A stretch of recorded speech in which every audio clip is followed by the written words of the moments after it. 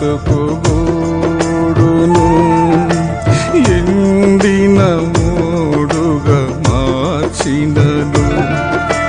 సాతాను నా బ్రతుకుగూడును ఎండిన మూడుగా మార్చినను. రెక్కలు తెగిన పక్షిని నేనై ఏ ప్రేమ దొరక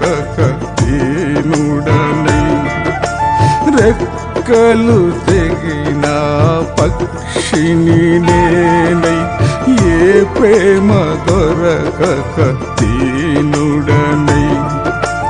చితికిన నా ఒంటరి బ్రతుకుకు చితికిన నా ఒంటరి బ్రతుకుకు నా తల్లివై నా తండ్రివై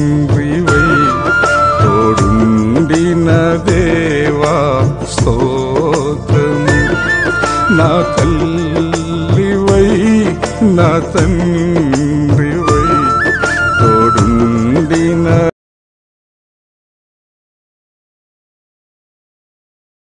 యోబు గ్రంథము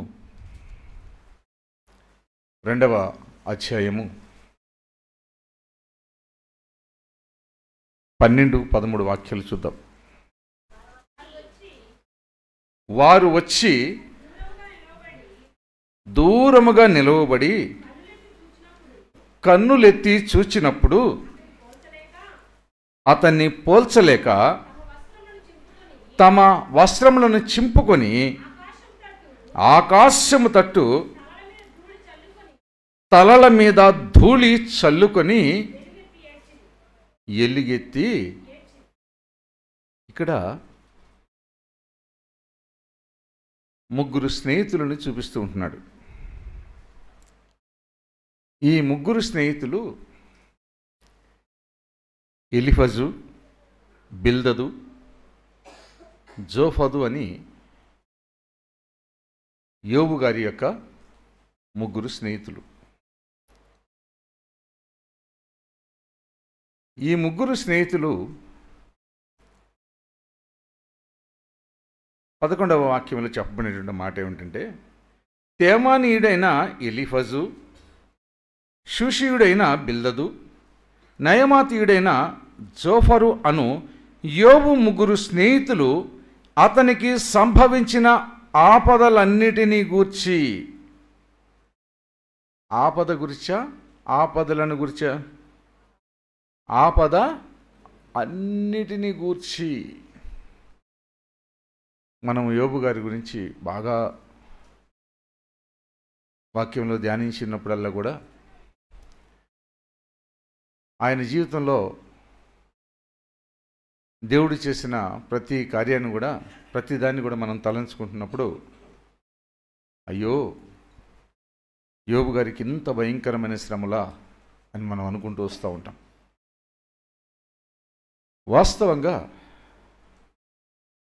శ్రమకి దూరమయ్యే వ్యక్తి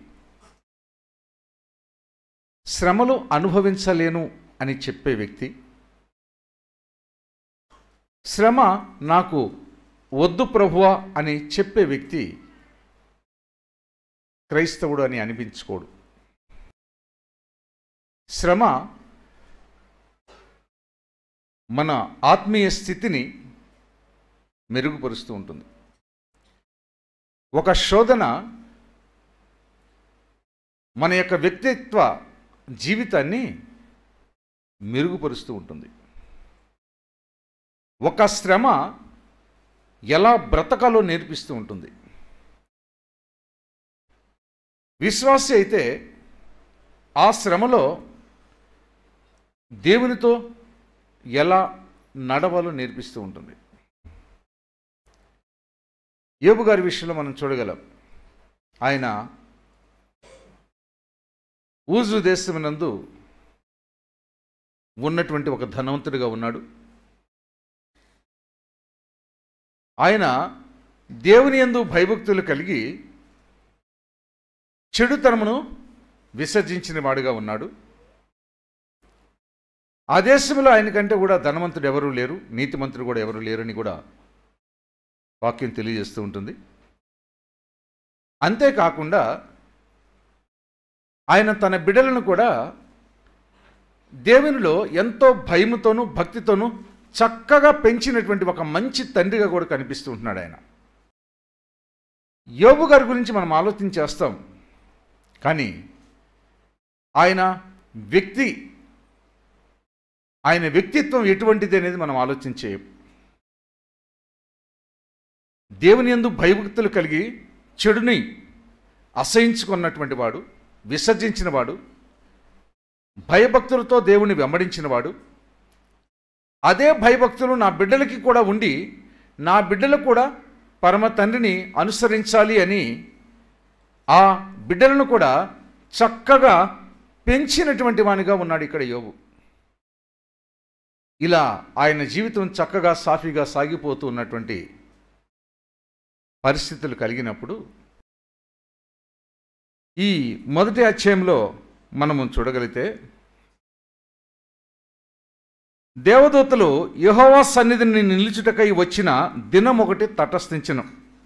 ఆ దినమున అపవాది ఎగువాడు వారితో కలిసి వచ్చెను. పరలోకానికి ఆడు కూడా వెళ్ళిపోయాడు. దేవుడు ఉండే స్థానము పరలోకం. వారితో కూడా అక్కడికి వెళ్ళాడు. వెళ్ళినప్పుడు చూడండి అనేకులు వెళ్ళారు అక్కడ దేవదూతలు. మిఖాయేలే కావచ్చు గాబ్రియలే కావచ్చు.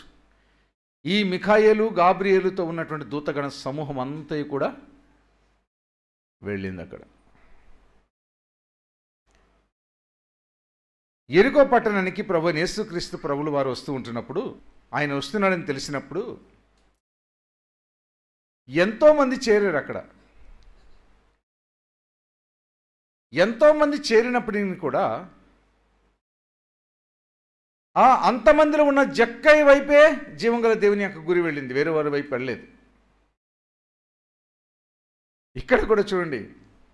తండ్రి అయిన దేవుడు నిత్యము నిరంతరము ఉండేటువంటి వారు మిఖాయిలు ఉన్నారు గాబ్రియేలు ఉన్నారు. వారితో పాటు ఉన్న దూతగణ సమూహం అంతా కూడా ఉంది.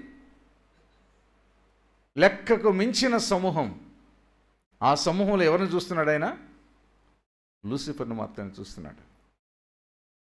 అంటున్నాడు ఆయన నీవు ఎక్కడి నుండి వచ్చిదవని వానిని అడుగగా. ఏం దేవుని తెలీదా? ఆడి పని ఎక్కడ? అసలు ఆయన ఎక్కడేసాడు ఆయన? ఆయన తెలీదా? భూమి మీద త్రోసివేశాడు దానితో పాటు దాని దూతలు కూడా భూమి మీద పడి ఉన్నాయి. భూమి మీదనే ఉంది. కానీ భూమి మీదలో ఎక్కడి నుంచి వస్తున్నావు? అదే అడుగుతున్నాడు ఆయన.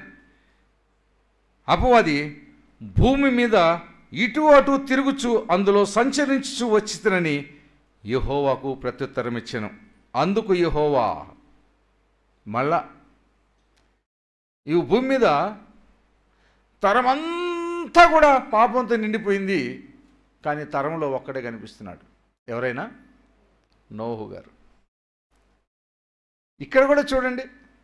ఎంతో కొన్ని కోట్ల మంది ఉన్నారు భూమిలో. యోగు తప్ప ఎవరు ఆయన కనిపించట్లేదు. అర్థమవుతుందా? ఈరోజు క్రైస్తవులుగా ఎంతోమంది ఉన్నారు. క్రీస్తు గుర్తించే క్రైస్తవుడిగా ఉన్నావా? ఆ అబ్రహాంను కూడా పిలవ పిలిచినప్పుడు ఎంతోమంది ఉన్నారండి. ఎన్- ఎవరిని పిలిచాడైనా అబ్రహాంనే పిలిచాడు. ఇంకెవరిని పిలవలేదు. సముద్రం ఒడ్డున చేపలు పట్టివారు అనేకులు ఉన్నారు కానీ వారిలో ఈ పన్నెండు మంది శిష్యులుగా ఏర్పరచుకున్నటువంటి వారి వారిని మాత్రమే పిలిచాడు కానీ అందరిని పిలవలేదు ఆయన. ఈరోజు కూడా చూడండి. సృష్టి యావత్తులో కూడా అనేకులు ఉన్నారండి ఈ అనేకుల్లో కొందరినే దేవుడు పిలుచుకున్నాడు. వాళ్ళే సంఘాల్లో ఉన్నారు. ఎందునండి కొందరినే పిలుచుకున్నారు. వారిలో సంఘాల్లో ఉన్నారు. కానీ అండి పిలువబడిన వారు ఎంతమంది అంట అనేకులట. కానీ ఏర్పరచుకున్నది మాత్రము కొందరినేనటండి. చూసారా? పిలువబడిన వారు లోబడుతున్నారా?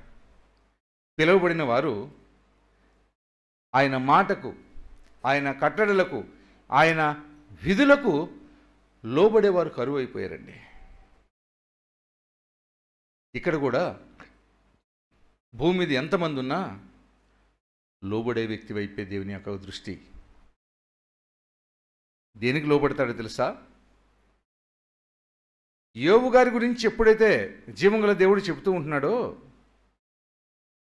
ఆ యోబు నాకు కావాలి అని అపవాది అడగడు అని దేవునికి ఏమని అనుకుంటాడా? నేను అడుగుతుండగానే వాడు ఏం చేస్తుంది? ఎవరిని అడుగుతాడు?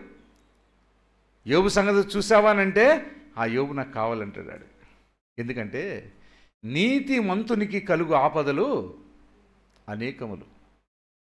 ఈరోజు క్రీస్తుని వెన్నుకున్నావు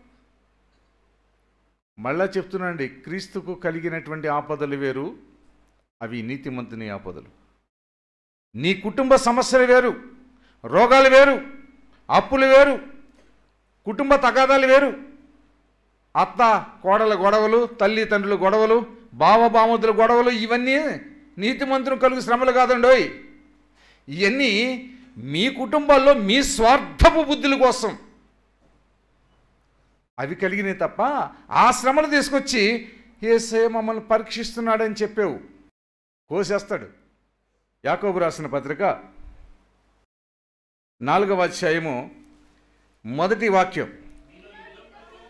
మీలో యుద్ధములను పోరాటములను దేని నుండి కలుగుచున్నవి? మీ అవయవములలో పోరాడు మీ భోగచ్చలను బట్టియే కదా. మనకి ఈరోజు గొడవలు మనశ్శాంతి లేదు నెమ్మది లేదు సమాధానం లేదు. పోట్లాడుకుంటున్నాం. ఒకరికొకరు గుద్దులాడుకుంటున్నాం. వాడికి ఎక్కువ ఉంది నాకు లేదనుకుంటున్నాం. నేను సంపాదించిందంతా నాశనం చేసుకున్నాను అనుకుంటున్నావు నాతో ఎవరు సమాధానం లేరు. ఇవన్నీ అనుకుంటున్నావు. నాకు రోగాలు ఉన్నాయి నాకు బాధలు ఉన్నాయి నాకు కష్టాలు ఉన్నాయని అనుకుంటున్నావు నువ్వు. ఎందుకు అనుకుంటున్నావట? ఇవన్నీ కూడా నీ శరీరములో పుట్టే భోగేచ్చల నుండి పుట్టినవే తప్ప నీతిమంతునుగా వచ్చిన శ్రమలు కాదు సుమా. నీ ఆరాటం నీ పోరాటం ఏదో సంపాదించాలి ఏదో చేయాలని ఆశ. సంపాదన అంటే మరలా నేను అంటున్నానండి. సంపాదన లేకుండా ఎవరు బ్రతకలేరు. కానీ నీకు ఎంత కావాలో అంతే. మన్నా మన్నాని ఫాలో అయ్యేవాడు పరలోకంకి వెళ్ళిపోతాడండి. మన్నాని ఫాలో అయ్యేవాడు ఏమైపోతాడు? పక్క షూర్. ఎవరు ఫాలో అయ్యారంటే కాలేబు యహోష్వాలే. ఈ పూటకి ఇంతే చాలరా? రేపు సంగతి నేను చూస్తా. ఆ రేపు ఏం చూస్తాడో ఏసయ్య ఇస్తాడో లేదో? ఆయన ఈకపోతే నేనేం చేయాలా? ఆయన ఈకపోతే నేను ఎక్కడ పోవాలా? అని అనుకున్నవాడు ఈ లోకంలో విడవబడతాడంతే. ఈరోజు నా దేవుని మాట విన్నాను. నాకు ఇచ్చాడు. రేపు ఆయన మాట వింటాను. ఆయన నాకు ఇవ్వక ఎక్కడ పోతాడు? రేపు ఆయన మాట నువ్వు వినకపోతే చచ్చినా నీకు రాదు. నువ్వు చేసినా నీకు దొరకదు అది. ఆగయ్య గారు చక్కగా తెలియజేశారు ఒకటి ఆరులో. ఎందుకంటే నువ్వు ఎంత శ్రమ పడినా ఈరోజు నీ బ్రతుకంతా అక్కడక్కడే తిరిగి అక్కడక్కడే పడి అక్కడక్కడే చచ్చిపోతూ ఉంటావు. కారణం ఏంటంటే నువ్వు మన్నా అనే దాని గురి లేదు ఈరోజు నీకు ఎంత కావాలో అంతే. నీ ఆకలి ఎంత అవుతుందో అంతే. చూడండి మన్న కుదిసినప్పుడు చెప్తున్నాడు దేవుడు ప్రతి వాడి వాడికి ఎంత కావాలనో అంతే ఇస్తున్నాడు ఆయన.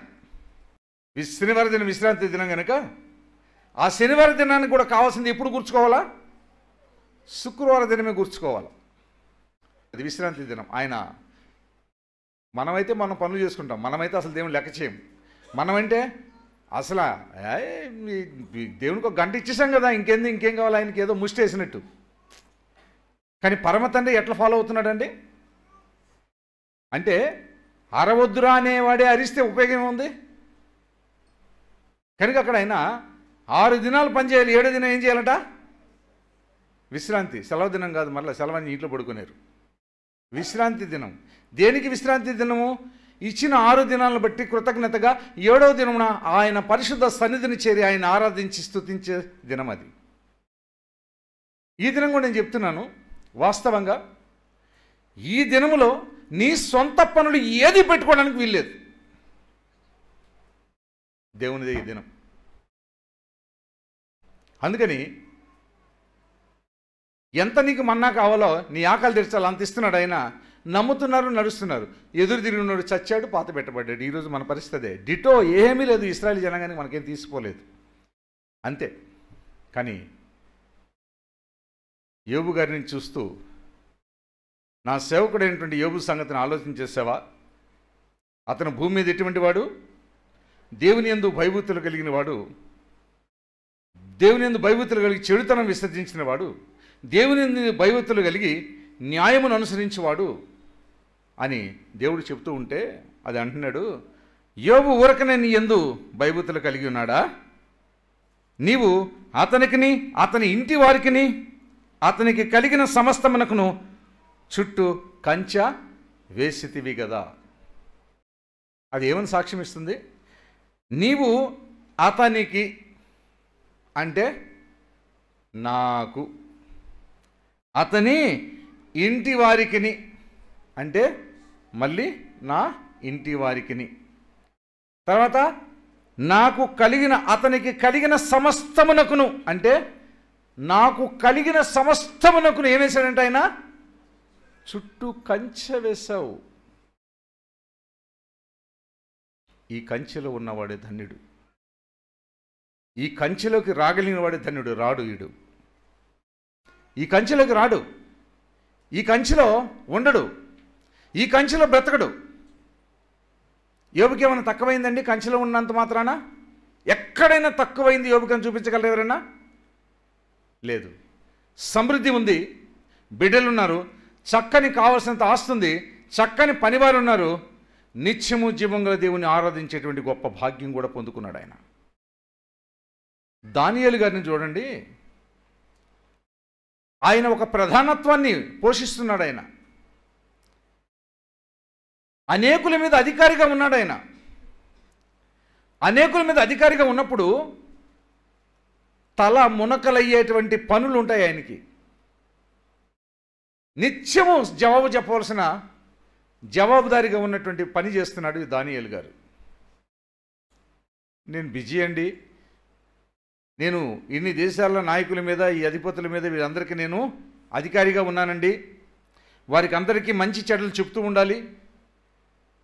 వారిని పరామర్శించాలి. వారికి కావాల్సిన సమకూరుస్తూ ఉండాలని కాలు మీద కాలు వేసుకొని రాజనగరంలో ఏమైనా కూర్చున్నాడా? ఎన్నిసార్లు ప్రార్థిస్తున్నాడు వచ్చి? ఎక్కడికి వచ్చాడు ముమ్మారు? మళ్ళీ తన ఇంటికే వచ్చాడు. మేడగది మీద ఎక్కాడు. ఉత్తర దిక్కున ఉన్న కిటికీని ఓపెన్ చేస్తున్నాడు. చేతులెత్తి ప్రార్థన చేస్తాడు ఎన్ని ఎన్నిసార్లు చేశాడంట? ముమ్మారు. ముమ్మారు అంటే మూడు మారుల కంటే అనేక సార్లు. అంటే ముమ్మారు దానియాలు ఏం చేస్తున్నాడు? దేవునికి ప్రార్థన చేస్తున్నాడు. ఏ బాధ్యత నుండి? ముష్టి నీవు నీ బాధ్యత ఒక్కటే ఉంది. నీ పని బాధ్యత ఒక్కటే. నీ కుటుంబ బాధ్యత ఒక్కటే. కానీ దానియలు గ్రంథం చదవండి. దానియలకి ఎన్ని బాధ్యతలు ఉన్నాయో? ఎన్ని భారము కలిగి ఎంత బాధ్యత కలిగి వ్యవహరిస్తున్నాడు దానియలు? అయినను దేవుని పని చేయడంలో ఏమాత్రం కూడా యోబు గారు ఎంతమంది పనులు ఉన్నారండి? ఎంత ఆస్తి ఉందండి? అంత విస్తరించిపోయిన దాని మీద పెత్తనం చలాయిస్తూ కూర్చోక ఆయన ఏం చేస్తున్నాడు?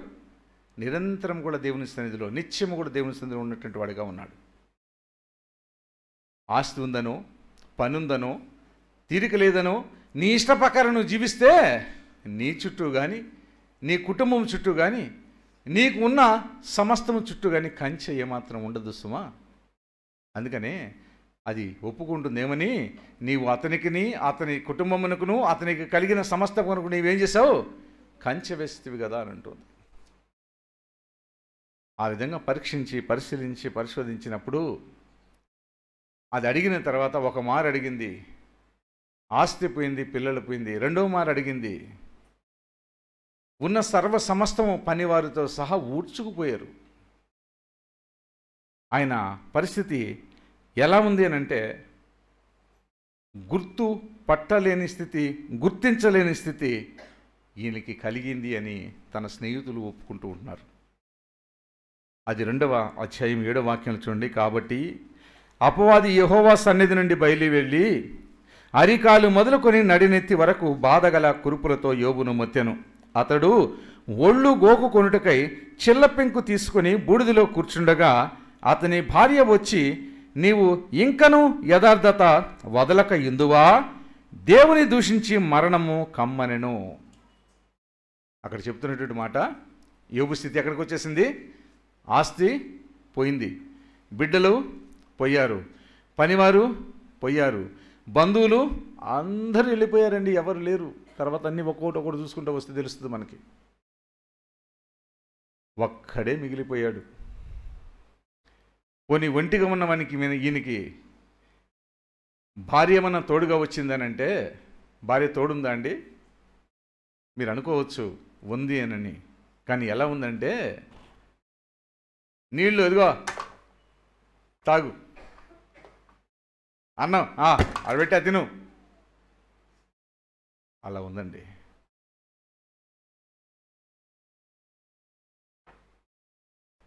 ఈ మహానుభావుడికి ఏం కూలిపోయింది? అమ్మా శరీరం అంతా కూలిపోయిందమ్మ పాపం.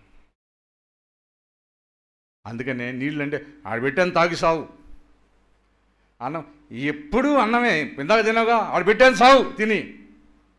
అనే చూపు చూసుంటుంది కానీ అక్క అందుకని అలిసి విలిసి విసిగిపోయి అలిసిపోయి ఏముంటుందంటే అక్కడ? ఏమంటున్నాడు అక్కడ? అతని భార్య వచ్చి నీవు ఇంకా బుద్ధి లేదా నీకు? పిల్లలు పోయారు. దరిద్రుడా నీ నుంచే. ఉన్న ఆస్తి పోయింది. ఆస్తి చూసి మా అమ్మోళ్ళు నీకు ఇస్తే రోడ్డు మీద తెచ్చావు నన్ను. దుర్మార్గుడా. అందండి పాపం. మనం అంటాం కదండి మనము. అప్పటి నుంచే కదా వచ్చినాయి ఇవన్నీ. చక్కగా పనోళ్ళు ఉండేవాళ్ళు ఇంట్లో. నీ దౌర్భాగ్యం ఏ పాపం చేసావో ఏ శాపం చేసావో ఇలా దరిద్రుడు తగలేడావు ఒక్కడు లేడు పనోడు అందరూ వెళ్ళిపోయారు. చచ్చి ఏం చేశారు? తగలబెట్టారు కనుక నీతో నేను పడి చావాలి. ఇక నాకు తప్పదా? దరిద్రుడు. నాకు దొరికావు నువ్వు. ఇంత అయినా కానీ బుద్ధి లేదురా నీకు. ఇంకా దేవుడు ఇంకా దేవుడు. ఎక్కడ దేవుడురా నీ దేవుడు? నీ దేవుణ్ణి తిట్టు. మనం అంటాం కదా అప్పుడప్పుడు దేవుడు అనేవాడు ఉంటే కళ్ళు ఉంటే ఎక్కడ వస్తాయి దేవుడు నేను చచ్చిపోను దేవుడు నిప్పులు పోయా దేవుడి మీద దుమ్ము పోయా దేవుడి మీద అది పోయా ఇది పోయా అని అంటూ ఉంటారు. వాళ్ళకి మోస్తున్నాడు సంగతి వాళ్ళకి తెలియదు. దేవుడికి చాలామంది ఈనాటికైనా చేసే ప్రతిక్రియ మీకు మాటలు కాదు కానీ క్రియల ద్వారా చేసే ప్రతి కార్యాన్ని కూడా మీరు అనుకోవచ్చు మేమేం అనట్లేదు. నీ ఒక్కొక్క క్రియ ఒక్కొక్క బల్లెపు పోటు ఆయన దేహమందు పొడవబడుతున్నప్పుడు బా ఆ ఉంటుంది చూడండి ఆ బాధ. దానికి శిక్ష తప్పదు.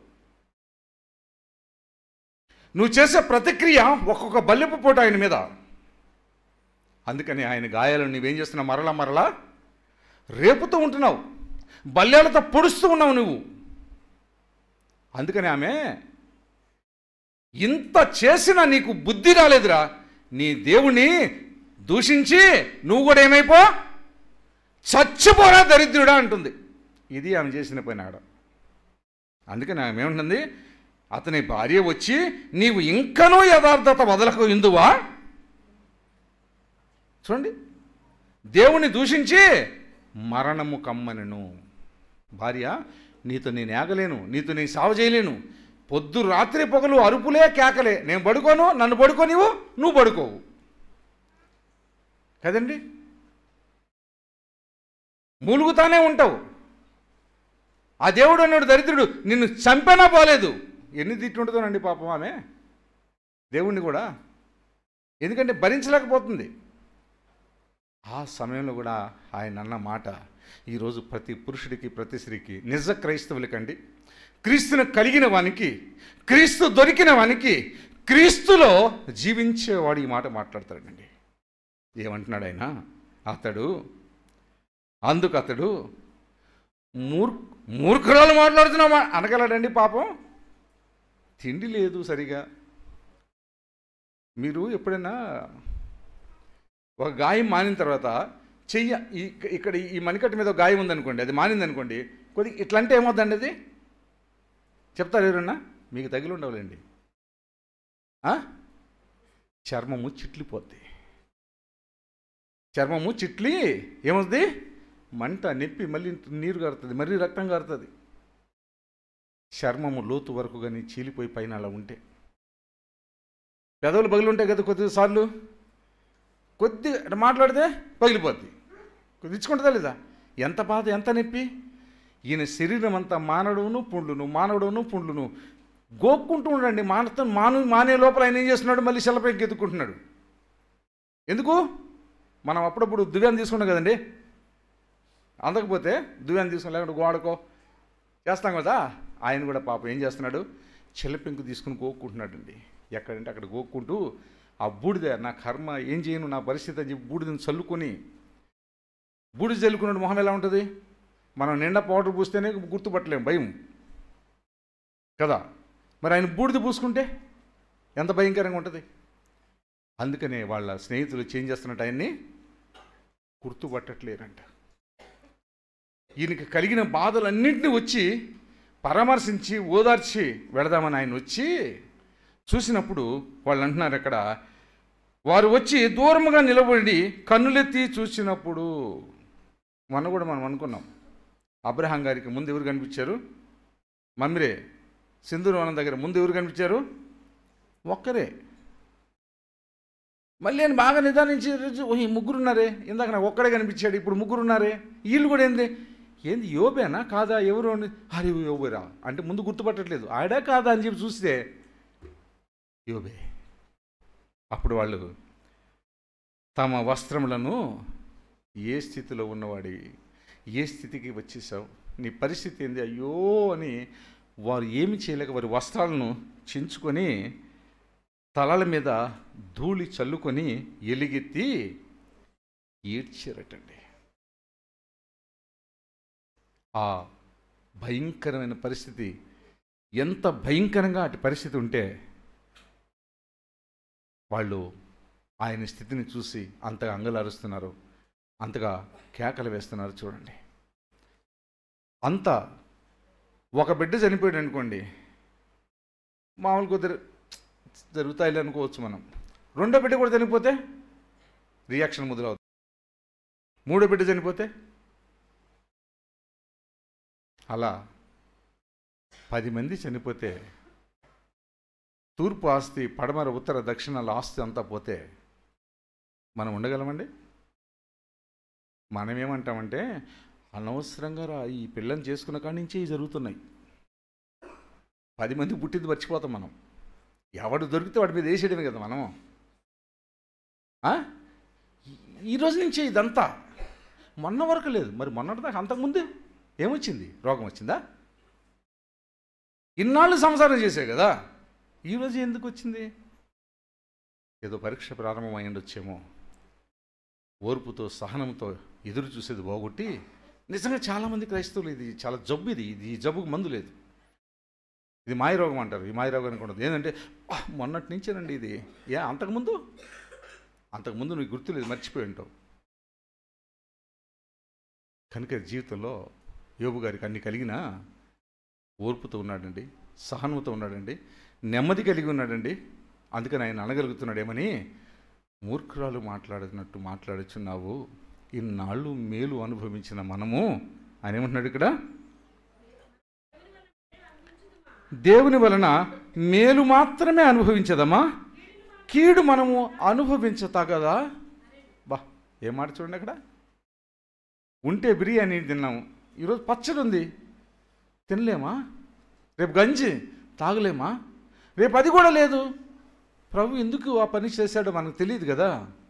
ప్రభుని స్థుతించే విధంగా ఉండలేమా? కానీ మనం ఉండలేమండి. అందుకని ఆయన అలా మాట మాట్లాడుతున్నాడు. కనుక అటువంటి ఓర్పు అటువంటి సహనం అంటే ఈ ఓర్పు ఈ సహనము యోబు మాటల్లో మనం గమనించగలుగుతున్నామంటే దేవుని ఎందు ఆయన ఎంత విశ్వాసం కలిగి ఉన్నాడో ఎంత నమ్మకం కలిగి ఉన్నాడో ఎంత భక్తిగా ఉన్నాడో అంటే మొదటి ప్రేమ మొదటి విశ్వాసం మొదటి నమ్మకం యోబులో ఏమైనా పడిపోయిందండి? మనలో అయితే ఆ మాటే ఎత్తొద్దు. అసలు ఆ మాటే రావద్దు. ఎందుకంటే అలా మీరు మళ్ళీ అంటే మరలా మేము మళ్ళీ గుర్తు చేసుకోవాల్సి వస్తుంది మళ్ళీ మేము బాధపడాల్సి వస్తుంది మమ్మల్ని బాధ పెట్టడం నీకు తగదు అని చెప్తారు నాకు.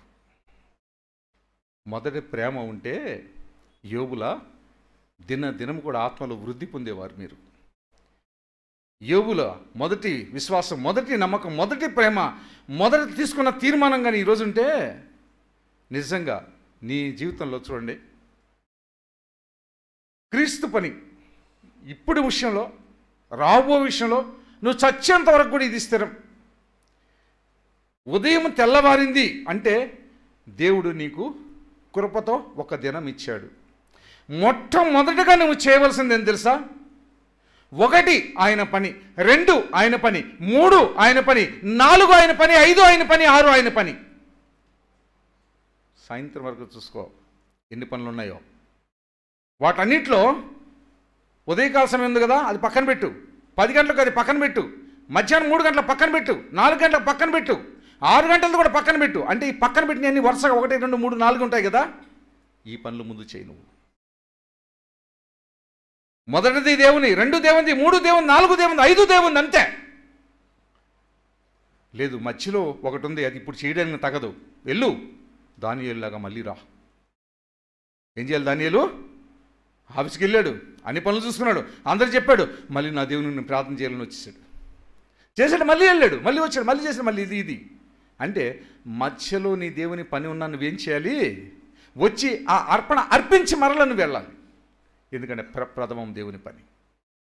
ఈ ప్రప్రథమముగా దేవుని పని నువ్వు ఎప్పుడైతే ఎంచుతావో నీ చుట్టూను నీ కలిగిన దాని చుట్టూను నీ కుటుంబం చుట్టూను దేవుని యొక్క కంచె దేవుని యొక్క కాపుదల ఉంటుంది. ఈరోజు మన జీవితాల్లో అది లేదు కనుకనే ఈరోజు ఇది కుటు ఇది లేదు. నేను ఇంకా ఈ మాట నేను రూఢిగా నేను చెప్పగలను. నేను నా కుటుంబం. అందుకనే గతంలో నేను పాట రాసేటప్పుడు కూడా చెప్పున్నాను. మళ్ళీ గుర్తుకొస్తుంది మీకు. ఈ పాట రాస్తున్నాను. ఇంతవరకు రాశాను. ఈ మాట పెట్టాలి అంటే మీరు నాకు తుది శ్వాస వరకు సహకరిస్తే నీ మాట పెట్టగలను లేకుంటే పెట్టలేను. మరి ఏం చేద్దామని అంటే పెట్టన్నా వీరులం మేము సూర్యులం మేము ఆరంభ సూర్యులం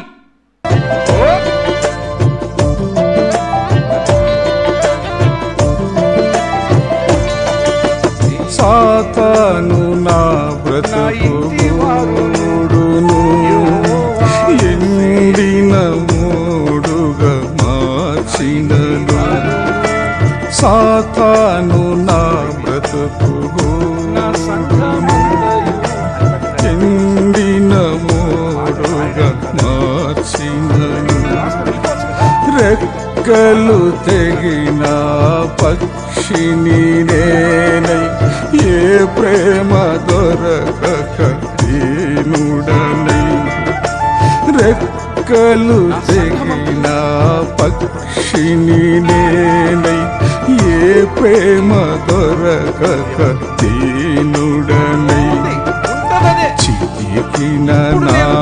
ఒంటరి బ్రతుకు అంతరించిన ఎవరు నిలిచి నా వాక్యంతో ఒంటరి బ్రతుకు నా తల్లివై నా తండ్రివై తోడుండిన దేవా స్తోత్రము. నా తల్లివై నా తండ్రివై